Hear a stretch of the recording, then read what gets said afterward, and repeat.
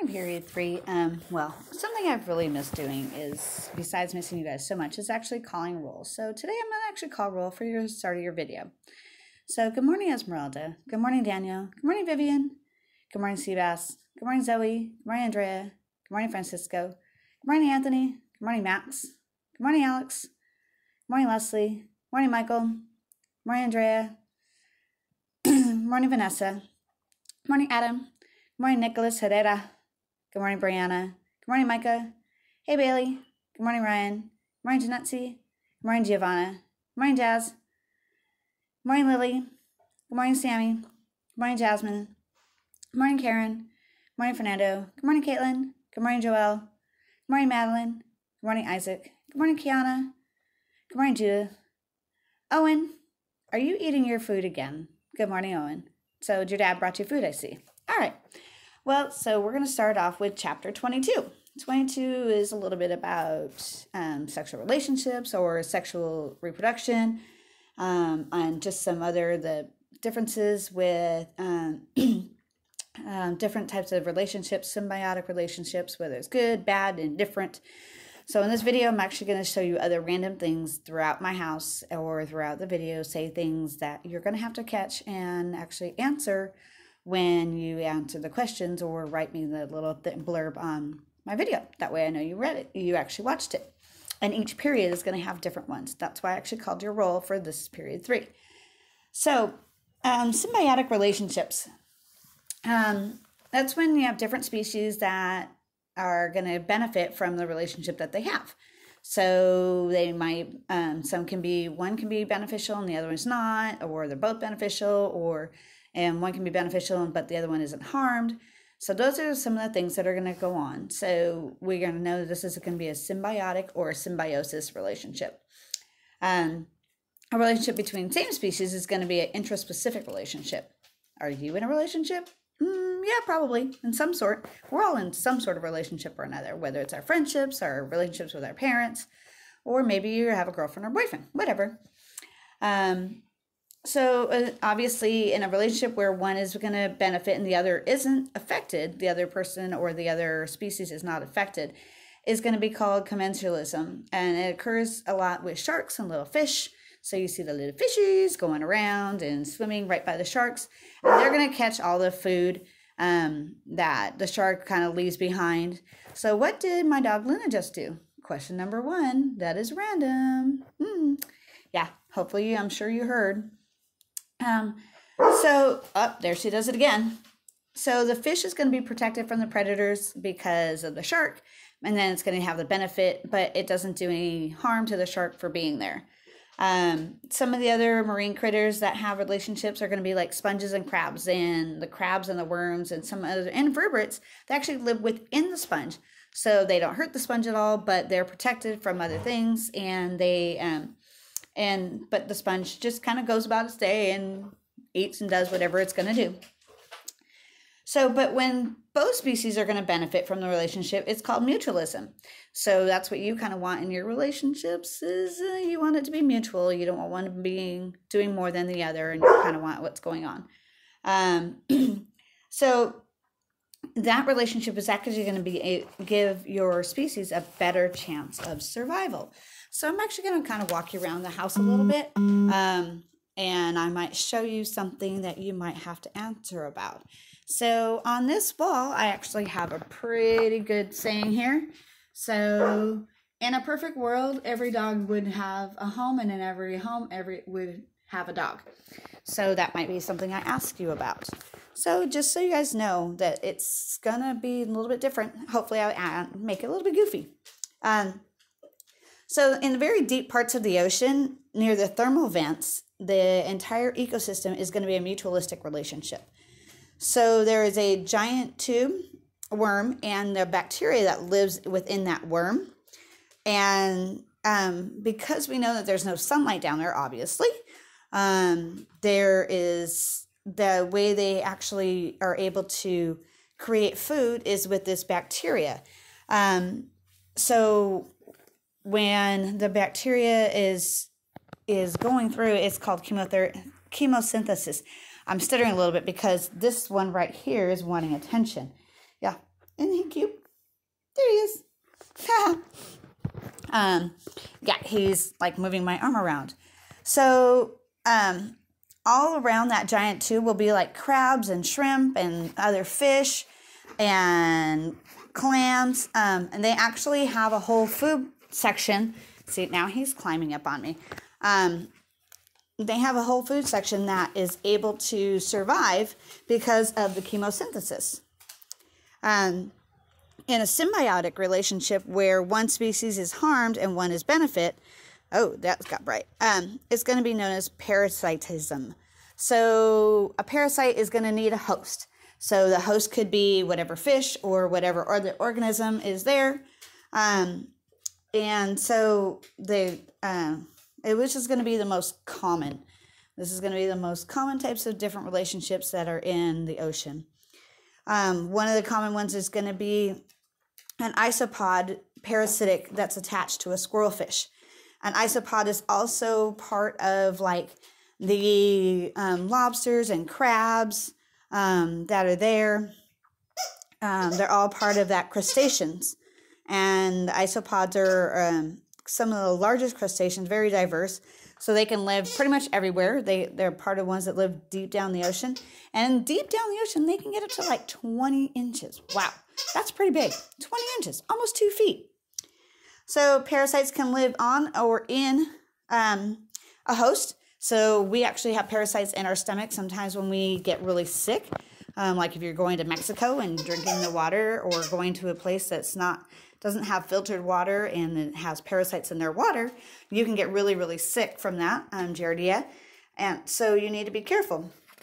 Um, so, but like parasites, they, um, they can live in us or in marine animals for long periods of time and they have really no effect on us until we get stressed out or we get sick and then they can cause a lot of other um, problems and the scientists actually think that for every fish that's out there, there's about three or four different parasite parasitic parasite worms species. That's a lot of different species of worms. Um, so when the fish that are, in sell, are sold in the markets, they actually are checked for parasites and worms to make sure that they're not transferred to you because if they did, you kind of get really sick. And then we're going to move on to coevolution. So, this is when a species competes or cooperates with each other to develop a trait that actually helps the other one. So, because of the reaction from the other species, a trait is developed. Oh, there's Andy. Say hi, Andy. Hey, everybody. um, Andy's my roommate. Um, so, they actually have developed traits to be able to survive and have a better chance of survival. One of the most popular ways that we know about this, or the one that we mostly hear about, everyone knows who Nemo is. And Nemo lives where? He lives within the poisonous sea anemone, right? Well, how can he live there? Well, because of the coevolution, um, clownfish have actually developed a mucus on the outside of their bodies. So they are actually able to um, they don't when they stings it doesn't sting them because they got stung so many times. Kind of like some people do with like snake venom um so they kind of they want to make or bee stings or when someone's allergic to something sometimes they want to try to keep having little bits of it to try to build up a immunity to it. Kind of like we need to do when we get a flu or vaccine or um, think about the covid going on. So if we can build up an immunity to it we won't necessarily get it or hopefully we don't get as sick um, another an, example of coevolution is predator and prey. So a predator is gonna when they're chasing a big school of fish, they're gonna catch the slowest one, right? Pretty much, yeah. Um, so what happens is that group of fish ends up becoming faster to be to become um, not able to be eaten as quickly, or they're to try not to be eaten, obviously because they don't want to be prey. Um, so another thing, so what happens is the predator then becomes faster because they have to become faster to catch their prey. And then, so that's a coevolution because the fish are now becoming, or the prey is becoming faster, and then the predator ends up becoming faster. So it's that vicious cycle continues around and round and round and round and round. All right, reproduction, mm, kind of interesting. the marine animals really kind of surprised me. Some of the things that they can do, pretty crazy, amazing. Um, if they don't need a partner to reproduce, it's going to be they can reproduce asexually, so they're asexual. Just like plants, like sponges and or plants in the ocean, plants on on the uh, earth, they kind of reproduce the same way. um, sponges have like little buds that break off, and they're going to be exactly so. If it's being asexual reproduced, their um their re, their reproduction, their species, their offspring are going to be the exact same as the parent. So they're going to have everything exactly the same. Good thing about this is it happens very quickly. Bad thing is it there's no diversity. So if something happens, they don't have a way to weed it out. They don't have a way to um, have any diversity within their um, genetics because they're all the same because they are asexually reproduced. And sexual reproduction is actually, well, how we're reproduced. So you actually need a sperm and an egg, and our offspring has half traits from mom, half traits from dad. And then um, this allows for a faster evolution. So this is can be actually, but it takes longer for the reproduction to occur. Um, there are some species that are pretty cool because they can kind of go between asexual or sexual depending on what's going on, or within their life cycle, they go from asexual to sexual. Jellyfish, pretty cool. They actually, depending on where they are in their life cycle, will actually be um, shift between asexual and sexual. Um, and then there's a lot of species that are actually able to reproduce both sexually and asexually, like a sponge. Sponge can do it either way. They can either have the little buds, which is going to be asexual, or they can release their eggs and their sperm and in the water and hope that they get fertilized, um, which is a little more challenging. But we learned in a different chapter that they've actually learned how to time that out so it actually happens more often. Um, uh, so one of those is going to be called a sessile, is a st- type of sponge that does that. Um, also, the star coral do do the same thing. They release millions of sperm and eggs, and that's going to be called spawning. Um, and so once they connect, they can fuse together and they start to reproduce that way. A lot of times, though, during the mass spawning, the fish have actually figured this out that they actually go in, they eat a lot of the larvae or some of the other, um, will feast on the eggs and the sperm, depending on what's there. So, mass reproduction happens with other animals, kind of like turtles, um, fish, squid, clams. So, the parents don't spend a lot of time. If a parent doesn't spend a lot of time in either taking care of the child or um, spending a lot of time with the reproduction part of it, then they're gonna re- they're gonna have a very high level or very high mass reproduction. And so there we have a turtle that I painted. Uh, yeah, kind of cool, huh? I like it. Hopefully you got to see it. Um, so if the parents don't spend a lot of time, then they're to have, as I say, a high mass of reproduction because they need to try to ensure that their species is continued correct? Yeah, we already kind of learned that. About turtles, they'll lay about what, 300 eggs within their reproduction period? Hey, Luna, stop it. Um, and then there are some species like the flatworm that are hermaphrodites. So they're not either one. And they actually fight to become the male because the females actually have to become, sorry, he's messing with me um, the females have to carry the eggs. So they actually fight to become the male so they don't have to carry the eggs. See, this is him. He likes to, he wants to be part of our lecture. Your butt. You need to get down now. Um, and some species can change sex to accommodate the reproduction. so if there are too many males, then they'll become female. If there are too many females, then they'll become male. So depending on what it is, that's needed, that's what they will become. This actually happens. Ouch! Um, sorry, he bit me. Stop, stop it. Um, they a lot of the reef fish will do this, and so whatever gender, and then some genders are actually dependent on the temperature. That we know that that happens with turtles. So we know that, that when that happens, they'll just change depending on the temperature of the water. Mollusk will change depending on, on who's on top of them. So a mollusk is kind of like a clam. Ah, stop it. that they will, ow!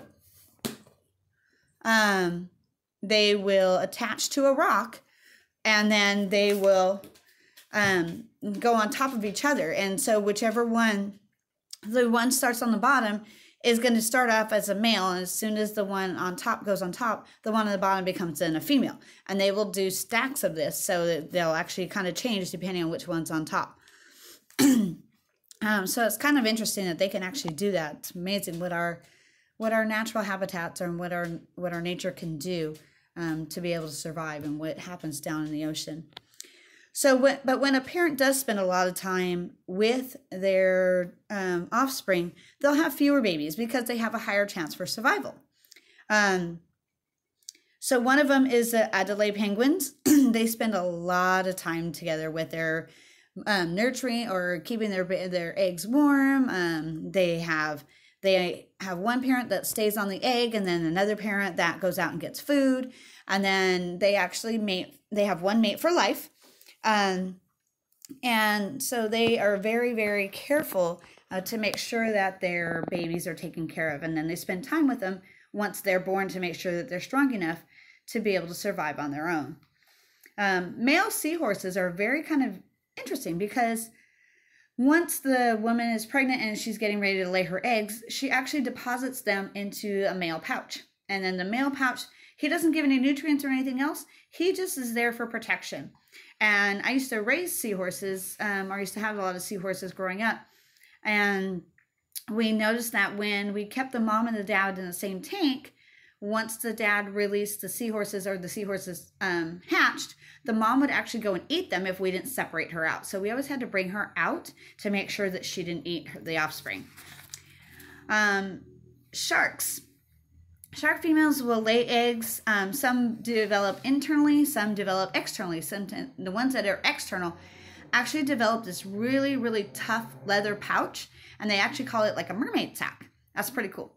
And then they go and deposit it, and then once they leave it there, whatever happens, happen. They get hatched, they get hatched, they get eaten, they get eaten. Sorry. Um, and then some actually have them internal, and then when they're internal, then they give birth to live babies. Um, and but some of them like the tiger shark what happens is some, they actually start their predatory um, adventure like it within the womb of the mom that if one mm-hmm. hatches or one's there and when they are there they actually go and they seek out the other ones and they start eating them inside before they get born some of them do that with the eggs too. So if they're hatched earlier than the, their brothers or sisters or whatever, they'll actually go and eat them before they actually get hatched. Um, the pinnipeds, the cetaceans, sirenians, and polar bears provide the most parental care. Blue whales, um, gestation, there's gestation's about a year. So they actually spend a lot of time with their child and developing that. That's actually longer than what we have. Um, and then they spend about another six months nursing that little baby and that little calf can actually gain about 250 pounds a day for the first six months. Pretty crazy. And then they about seven to 10 years before they actually reach sexual maturity. So I hope you enjoyed this. Got a little different, um, got a little, had Luna in here, had some other things going on. So pay attention to the little details. Have a great day. Stay safe, stay healthy. Bye.